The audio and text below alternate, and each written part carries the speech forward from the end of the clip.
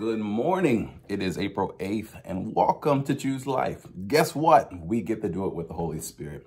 Um, he's such an awesome help. Um, I mean, can you witness it? I mean, some of us, we are just being born. Some of us have been born for years living, and we're not doing this thing alone. So that's one thing I want you to proclaim over today. I'm not alone in this life, but we can choose this life to live, and it's worth living. Um, before we begin, I would just, just admonish you, if you can, like and subscribe. Um, even uh, um, for Pastor Gina, we love spreading the word of God and his loving character. So just by any means, just, just press that like button wherever it is on your screen and just enjoy the presence of the Holy Spirit with me. Um, before we begin, let me introduce myself. My name is Kevin Scott.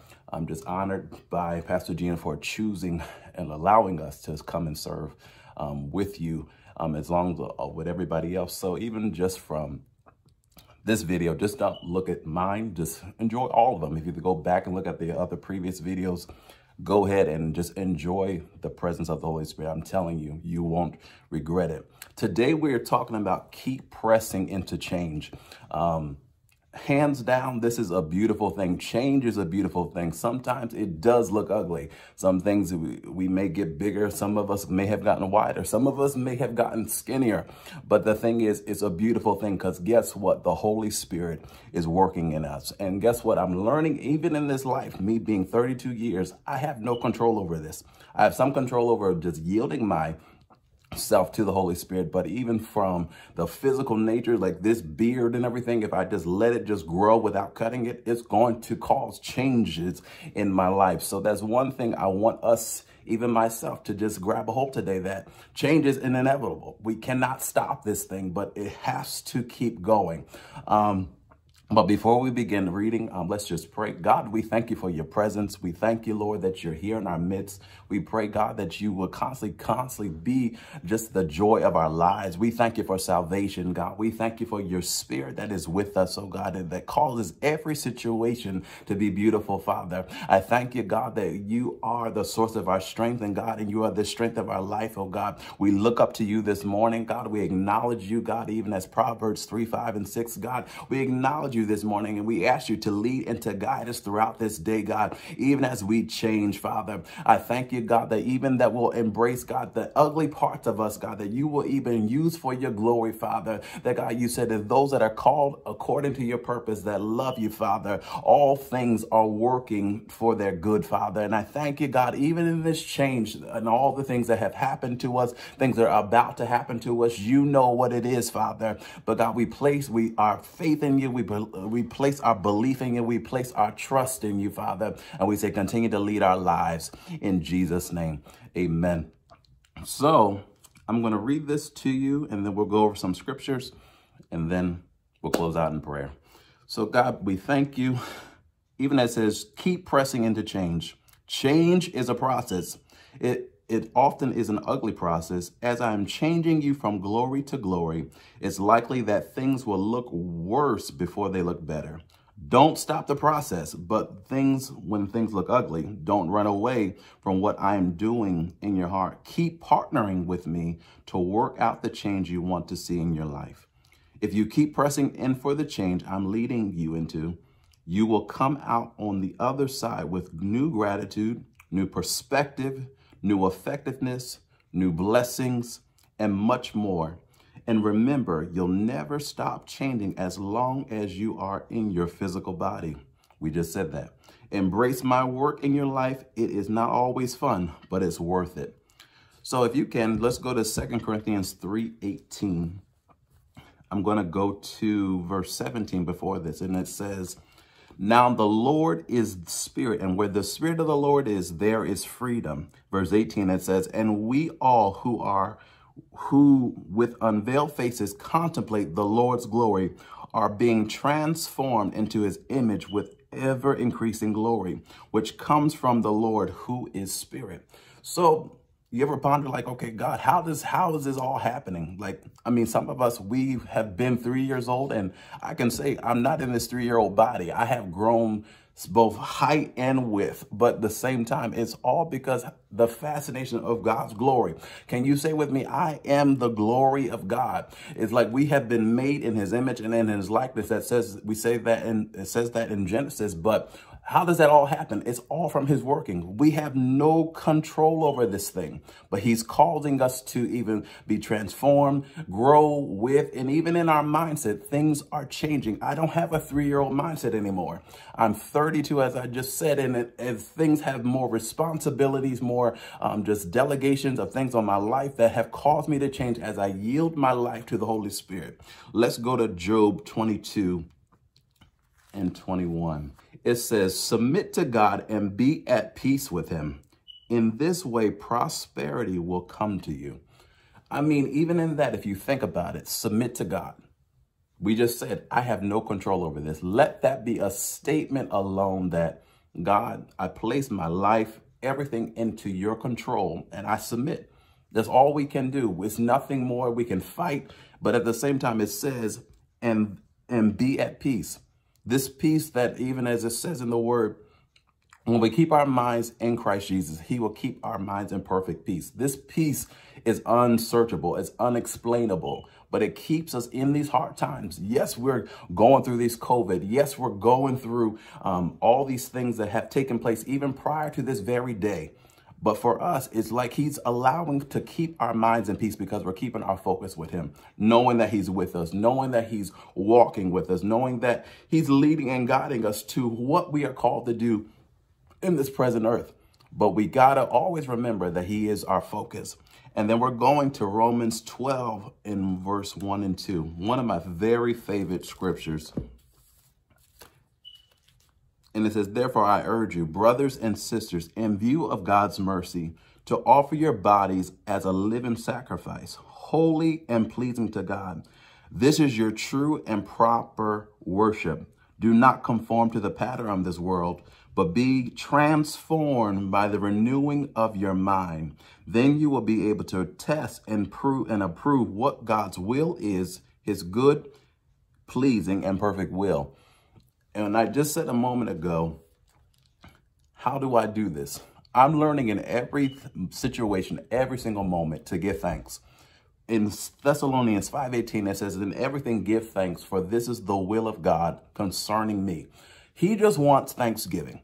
He gave us this life. He gave us this home. We gave, he gave us all the clothes, whatever it may be. He may even taken, taken things from you even from me. There's been things that God has stripped away from my life that I could put my focus more on him and realize I'm only making it through this life from every word that he spoke, every um, dream that he even gave to me, every vision that he gave to me, every transformation about for me, um, even as I slept, even as I sleep, because things happen even better, I think better when we are asleep. But um, going back to what I was saying before, the mindset of being a three-year-old and now I'm a 32-year-old individual. My mindset had to change. And even around that time as I got older, I remember I had a fear of dogs. I had a fear of anything, of even birds. and um, just recently, presently, we are trying at my home to get rid of birds in our vent, in our dryer vent. And I'm like, oh God, I'm just, you know, this is something I'm scared of. But that fear was brought to me even when I was age five and six. I don't know if any of you recall the movie Birds. I saw the movie and literally since that day, I have embraced the fear of being afraid of birds. Now, yes, they can be in the trees, but let that thing be this close to my face and you will see a whole nother character of Kevin Scott. But now it's like, okay, God said to me, okay, you're the leader of this home, you're a father, you're a husband. Now, how are you going to get these birds out of your house? Now, yes, I can call someone to go do it for me, but at the same time, there has to be some initiation for me being a man, uh, the leader of this home that, that allows protection. But again, remember, I'm only doing this with the Holy Spirit. I cannot allow myself in my mind to think these birds are only coming out of this house because I'm putting my physical nature into getting them out. I'm literally allowing my mind to yield to the Holy Spirit that says, you can do all things through Christ that gives me strength. Now, I have attempted. Now, this is the very thing I want to say to you also. It's not that God gives us these tasks to accomplish all the all the time just to say, I just to prove that, hey, you can do it. Sometimes he just wants to see and show you that you are able to try. Sometimes all we have to do is try to change. It says from the title, says, keep pressing into change. This change mindset is not, it's a process. It's, a, it's an ugly process. Even from me going outside today and just really trying to even reach inside that hole, the dryer vent in our house, there is a fear in me of even shaking, knowing these things could just fly out. The birds like are on guard on the trees. Looking at, I've seen so many things from Woody the Woodpecker, this thing just flying down right at you. But I had to embrace God, you're with me. The Holy Spirit is with us and he's allowing us to see the change that he's causing us to do, even in our very present moments. But we can't forget that he's with us. Those very moments, you have to acknowledge him. And as, as I said earlier, Proverbs 3, 5, and 6, we acknowledge him all our ways and he will direct our path. These paths sometimes as all for his name's sake. Yes, it may feel like fear is just right there. It may feel like no one is around to encourage you, like rah, rah, rah, you can do it. But you got to realize he is every time, every moment, every situation, he's there present with you. And we must always remind our minds, be renewed in our minds that we're not alone in this. And then even for that, he gives us the power to do the very task that we have before us. So even with us, we can constantly say to ourselves, I can do this. I'm changing. I'm embracing a new mind. I'm embracing a new attitude. And even as it said in the book, new gratitudes of living, a new perspective. I have a new perspective to birds just in me trying to get them out of my house. It's not that, hey, um, that I see them as much larger, but in my mind, it's something I can handle. It's something I can accomplish just because I tried. I'm going to say to you today, try to change. Try to do something that even will cause the Holy Spirit to be your help. And that allows, and when I love how the word says, faith cometh by hearing and hearing the word of God. If you step out on something that um, is unlikely that you can't do and you know you need his help, that's how you will know he is present with you. Um, anything else, as far as with just even the word alone, keep changing, keep pressing into change. There's a pursuit after this thing. Just don't do one thing. Keep going after this thing tomorrow, next year, the next month, because what happens is it causes us to constantly rely on the Holy Spirit. I believe Jennifer LeClaire, even as you see it so many prayer and her prayer life and even the ministry that she has, it all became on her pursuing change. And even for us, we're changing just because the presence of the Lord is in our homes. But we have to always remind ourselves that he's with us. Is he's not here to harm us. He's not here to cause us to um, fall away and just run away from his presence. Don't run away from those situations. Embrace them. I mean, full heartedly. You're talking, you're looking at someone that jumped out of a plane. And I mean, like literally, there's no time for you to trying to change your mind when you're up literally 10,000 feet in the air. It's literally you're getting out of this plane and jumping. So I'm going to tell you, encourage you, jump out on faith, jump out on the Holy Spirit and watch. He's going to lead you into so many different changes in your life just for his glory. Let's pray. God, we thank you for your presence. We thank you, God, for your word. We thank you, God, for allowing us to choose life, that you are expanding our life even in these moments with you, Father. That God, even from, even as I said, age three to even now, God, fears and all these different perspectives that we had a, a time being, Father, in this very present moment, we don't have anymore. Thank you, God, for, as you said in your word, to be thankful for everything, for this is the will of God concerning us, oh God. And we just want your will, Father. We want your will in our lives, oh God, even as that dear sister Kiara Shear, Father. The, the perfect will of God is the safest place, oh God. We want your will, Father. Allow us to find a safety today, oh God, in Jesus' name, Father. I thank you, God, that these are those that will look onto this video, Father, that will, God, they will experience change and they will experience a winner's mindset, Father. They will experience gratitude, Father. They will, God, may even experience failures, Father. But God, we know there is no failure in you, Father. But God, allow them to pick themselves up and to still try again, Father. Allow them to say before, I didn't want to do it before, but this time I tried, Father.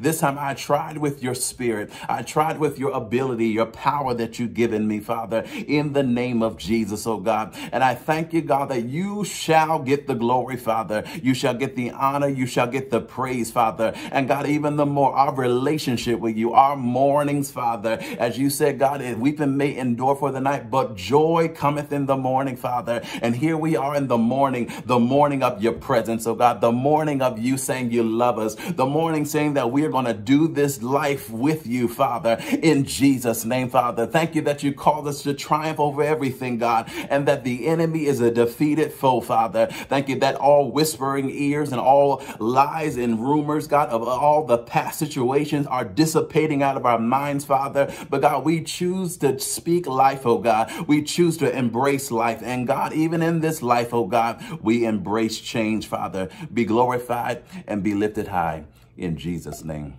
Be glory to him. Enjoy your day. Enjoy your life.